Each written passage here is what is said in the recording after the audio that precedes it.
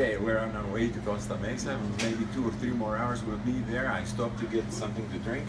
Uh, on the way there, it's my favorite place to stop all the time. Planes, trains, and automobiles never. Um, they always strike. We we couldn't get out last night. The, the runways were closed. They it was a mess. So, but we're gonna be there. Don't worry. And about the, the crew is already loading in. We're ready to go. So I'll see you all there. Now all I need to do is find something to drink. Okay. Bye.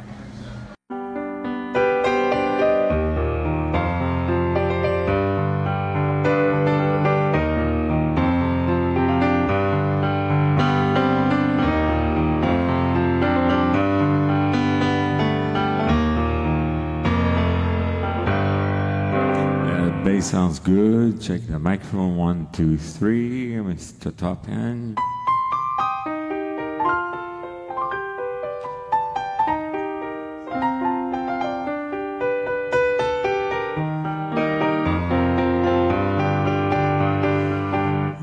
Seeing red. Travis, what?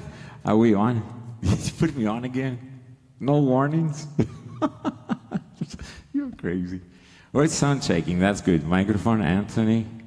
By the way, a lot of people are finding out who Travis Mack is. He's, he's the guy who's doing a lot of the, the video. And, and Anthony, the man who's doing the audio, front of house, and the audio you're hearing right now. And if the piano doesn't sound good, it's Anthony's fault. Hi, everybody. We made it. We are in Costa Mesa. I know a lot of you uh, have been wondering if we're going to make it tonight. We will. I'm here and I'm playing. So get ready. Some of you are going to be waking up, but uh, we're going to play. And from what I find, just found out myself, we're going to start a half an hour earlier tonight. 7.30 uh, Los Angeles time. West Coast, uh, you know, usually we wait five, ten minutes until the people get settled. We might be just, but overall, a half an hour earlier. And uh, what are you doing watching me? Show starts in a couple of hours. I'll see you guys. Okay. We are live. We're this fast? Yes, sir. Hi, everybody. Welcome to Costa Mesa, California. We're here. Welcome.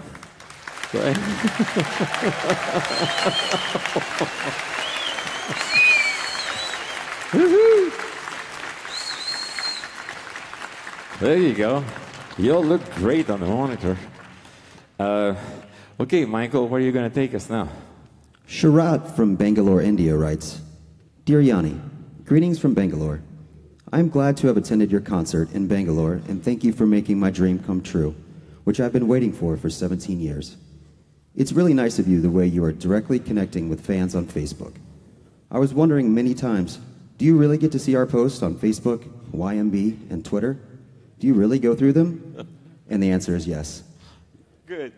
yeah, good. My question is if I could tell you is one of your best studio albums, and I hope each and every Yanni Hollick would agree with me. You continue. Did you say Yanni Holic? I did.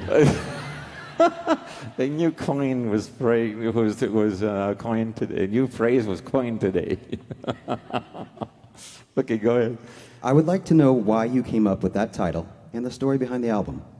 I would appreciate it if you can consider to play the title track, if I could tell you, on piano or the song A Walk in the Rain. Oh, that's very nice. Looking forward to hear from you and wish you all the best for your live conversations. Kind regards, Sharat. Very nice, Rad. Thank you. Thank you. I think they're trying to change the name Bangalore, Bengaluru, because we were there, and they're just Bombay became Mumbai. It's taking a little time. So you don't know that until you get there. You have to be there. There's, there's no substitute for experience. You have to go there, and then you know and you feel it. So thank you for your question. And uh, if I could tell you, I'm going to say it very quickly. It was a very special album for me because I had taken a sabbatical. I hadn't touched the piano for a whole year. I mean, a whole year, not a single note. I wanted to know at that part of my life, it was back in 98, I had been everywhere in the world. I had done so many concerts. I was completely burned out. And I was going through a tough time. And I thought, is there a, a, a behind all this music? Can I be a human being without music? And I wanted to know that. It was, was very important to me. So, being as brave as I am, what I did, I ran back home to my mom and dad. and uh, I spent uh, half a year there walking with my dad on the Greek mountains. And I'm going to play a song for you. Um, the gentleman was talking to me about the heart. There you go. Yeah, I'm going to play that for you. It's very important. Um, so when I came back and I, and I wrote, I started writing again. I, I didn't know if I was going to come back ever. That's the truth. Um, the first album that I did was If I Could Tell You. And that's what you're feeling. It's very unique and a very diff- different album because my life and the way I looked at life had been changed. Um, so I will play If I Could Tell You for you, my friend. Okay. And of course, for all of you and everybody else who is watching.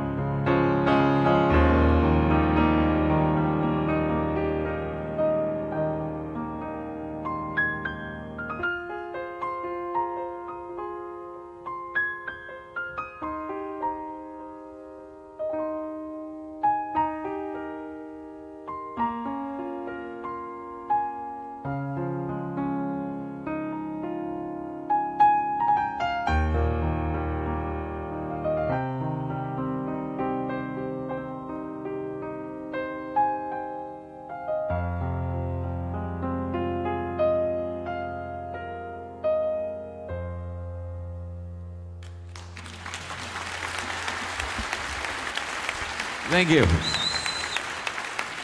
I'm asking questions, you know, it's like, why? Why? What?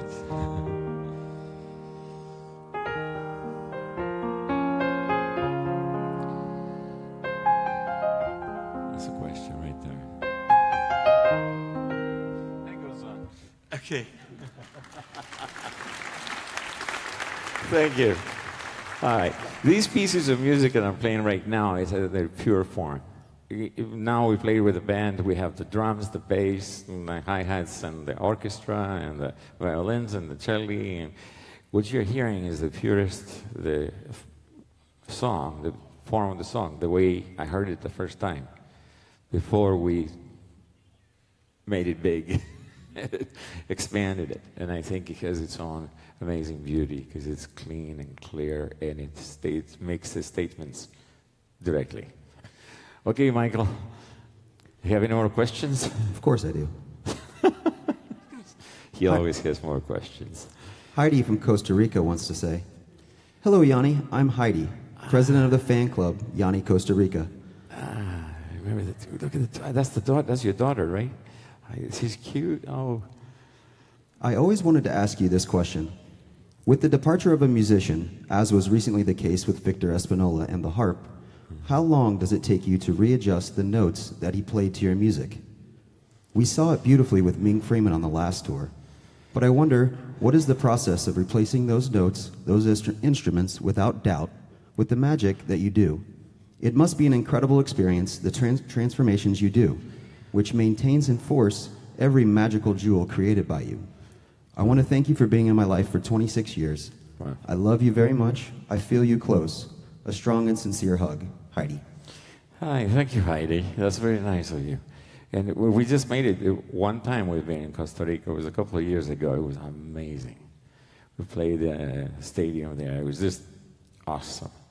Uh, everybody was waiting for us, and I could, I could read things on the internet from the Costa Rican people that came had come to Miami or other places, and said he's never coming to Costa Rica, so no way. We have to go up into the United States to see him. And boy, did I write him back and say, "You're all wrong." so we did it. It was a lot of fun, and. Uh, what I like to play, I'm gonna I'm gonna play something that I have never played before um, in front of a live audience ever. There is no live version of this song, and uh, to tell you the truth, I'm a little nervous about trying to play it because it's very difficult. Uh, I will. It's uh, the left hand is playing on an odd time signature like seven eight, and the right hand is playing um, Spanish guitar type of uh, flamenco. So the two together is uh, okay. We're gonna try it. I like the song. It's called the the Flame Within. First time ever. Good luck.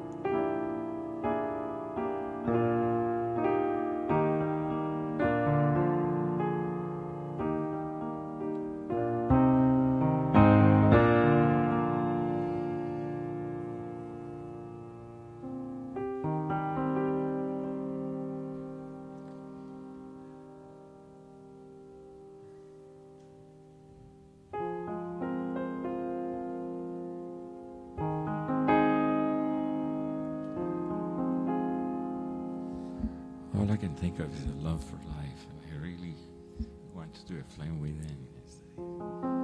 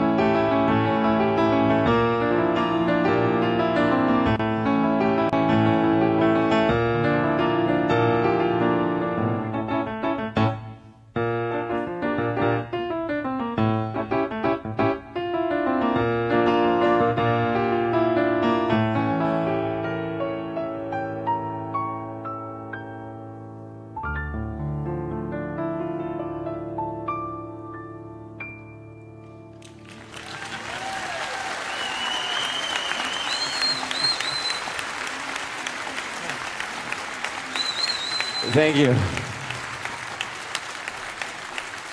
Thank you. It took me a while. It has to come to me. I can't. I, it's not uh, the arrangement. It's not uh, when you play a CD. It's just like a, a photograph. It's a still photograph of, uh, of a wave of the ocean. It's frozen in time. Music is not. Music keeps evolving and changing, and that, that's what I'm trying to do here. Is I'm trying to let it just come through and uh, let me speak to you directly from, with my heart. So that's what you just heard. Took a while, but I got it. All right, I think if we have one more question. Natalie from Haiti says, Hi, Yanni. Oh. I'm Natalie, your fan from Haiti. Oh, Miss Darling. What do you consider your greatest achievement so far to be? If you could start again, would you do anything differently? With love from Haiti. P.S. My son Nathan is one years old and is already a big fan. Oh, His favorite song is Rites of Passage. hint, hint. Thank you, Natalie. That's, that's very nice. And, and uh, all I can say is that there's nothing you can change. If you change one little thing in your life, anytime, any place, uh, your trajectory will change dramatically. Dramatically, you go to a different place. So you have to. I accept myself, and I'm here because of everything that I have learned. I've been through all the hardships, all everything. It's uh, people say, "Would you like to get younger and everything?" And I'm going, "Sure, I'd like to have a younger body, but can I ke- keep the brain?"